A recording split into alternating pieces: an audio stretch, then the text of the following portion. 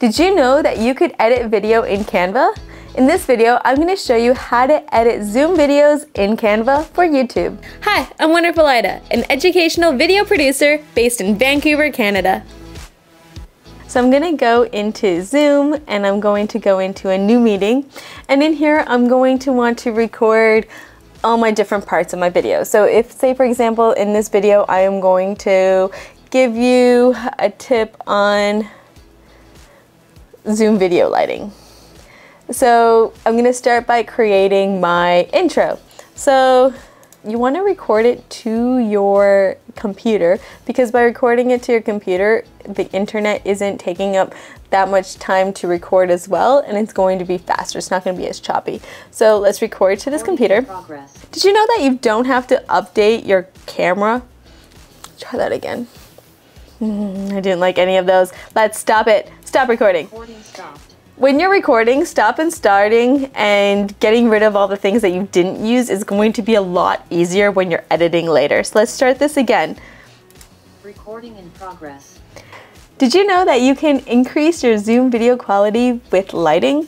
You don't need to get a new camera. All you gotta do is improve your lighting. Perfect. There's my first video. And now let's uh, record the second one. Recording in progress. If your light source is behind you, it's going to be a lot harder to create quality video. Instead, you want to make sure that your light source is in front of you. Let's stop that. Recording stopped. And let's record it again. Recording in progress. Instead, you want to make sure that your camera is Instead, you want to make sure that your light is positioned in front of you. That will instantly increase your Zoom video quality. There you go.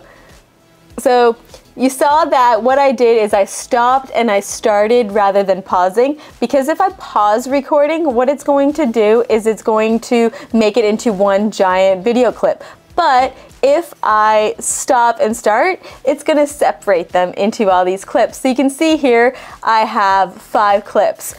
These first two were mistakes, and then this third one is where I actually did the intro. Let's just double check. Nope, this one is the right one. Did you know? There we go. Did I like this one? It's just make sure I have all of the clips. So now I want to import those clips into Canva. So in Canva, you're to click on video and it's going to start making you a video. And you're want to upload those video clips. So I'm to go into upload, upload files, and then I'm to find my Zoom files. Your meetings are stored by date. And then I'm going to want to import those video clips where I did it correctly. So you can just preview them. I don't think I got it on that one. There we go, I got it on that one. And then the last one. So I'm just gonna want to command and select the clips that I want to import, import those clips, and it's just going to take a while for it to import. The longer the video clips are, the longer it's going to take you to actually add it. And by separating them into the separate clips in Zoom, it's gonna make it a lot easier for you when you're editing it now. So here are my three clips. So because I have three clips, I can add three different blank pages for them because I know I'm only trimming the three clips. So let's start with, which one's this? Instead, you want to make sure that your camera... This is my third one. Instead, you want to make sure that your light is positioned in front of you. So what you want to do is you want to decide how big that video file is going to be. If it's going to fill your full screen, then just fill your full screen on it. And you can see that if I play this, Instead, you want to make sure that that my mistakes are still in here. Instead, so to trim this, I'm going to press the scissors up here in the corner. That your light is positioned in front of you. That'll and I'm going to trim the mistake. make sure that Instead, you want to make sure that your light is positioned in front of you. That'll instantly increase your Zoom video quality.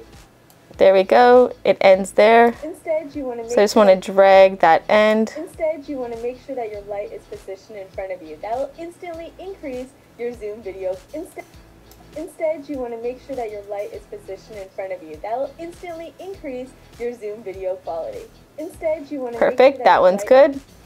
let's go to the second one. Which one's the second one? That's this one when I flipped it.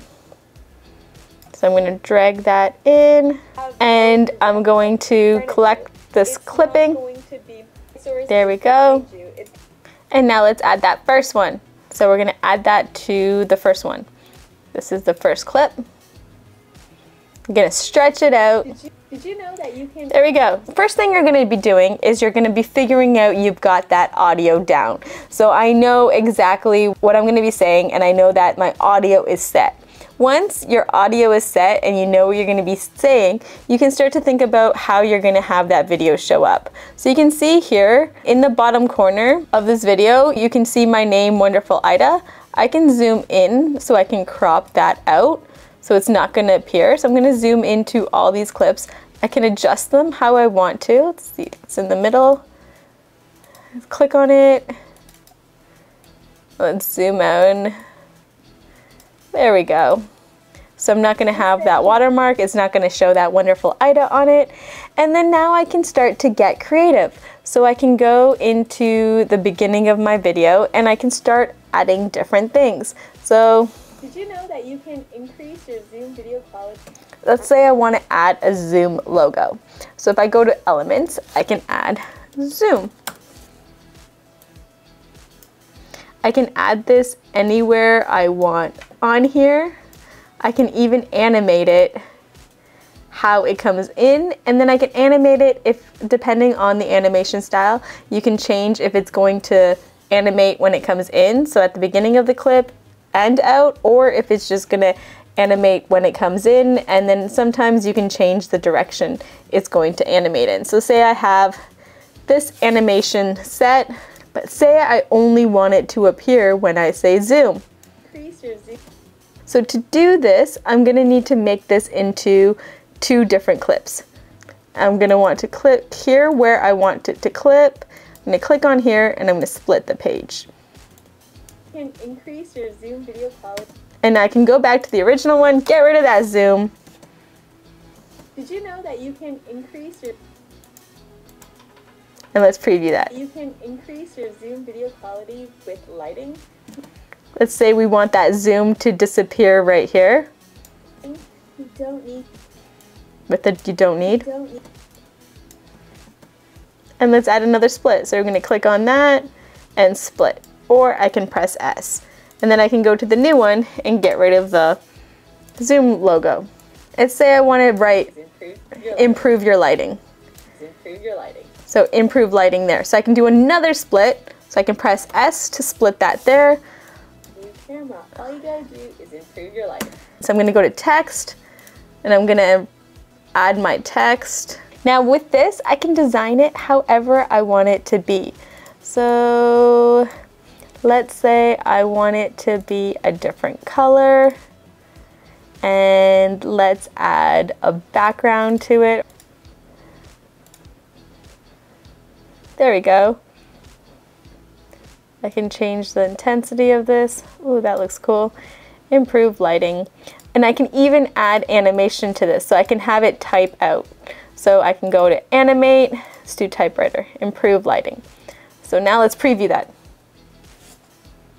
camera, all you gotta do is improve your lighting. If your light source is behind you, you can see that it animated both in and out.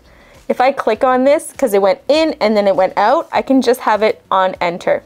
So that means, look at this, when I watch that. All you do is improve your lighting. If your light source is what else I can do is if I click on these pluses, I can add a transition between them. So the plus in the bottom is like transition, and these are the different transitions that it allows me to do. Oh, this one's interesting. I can change the duration of that transition, and let's preview what this looks like. Your lighting. If your light source is behind... I like that. Another cool thing you can do is you can add effects to the video itself. So you can make the video look a little bit branded. And to do that, you're gonna want to go into elements and add a square.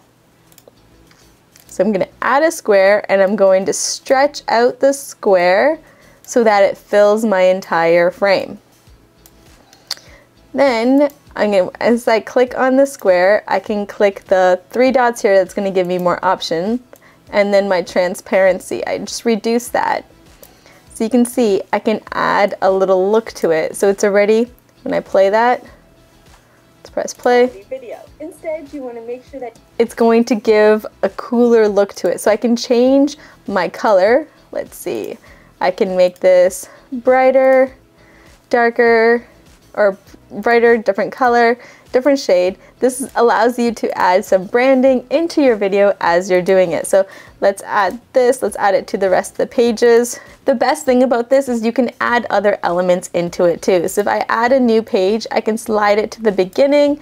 I can even use one of these templates that they already have. Let's see. I can even separate these words. Let's like separate these a little bit. There we go, add a background color here, little smaller, and I can position it differently. There we go. I can animate this. Let's do that. Um, let's see, which one do I like? Oh, that one's cool. Let's do that one. Click on it, and now I can have it on both the entrance and the exit. I suggest for most of them, you just have it appear on the entrance and then what you can do is you can have a transition between the ends. So I can make this clip a little bit shorter and then use the plus sign, add a transition. Let's do the dissolve. You know? I don't suggest doing this with really long videos. If the video is really long, it's going to be really hard for you to split and make this work. However, if you do film it as short clips and then only pick the ones that you want to use and put them in here and then start adding extra stuff to it, then it's going to be a lot easier for you to do it. And then once you're done with all this, I really suggest adding a title to your video because it's just going to be easier for you to find it later. So increase zoom video quality. And then when you're done, you're just gonna go to share, download, and you're gonna download it as an MP4 with all the pages and it's going to convert it into a video for you. Now that you know how to edit the video, here are some more tips on how to film in Zoom. And remember, messy action is always better than no action. Until next time, peace!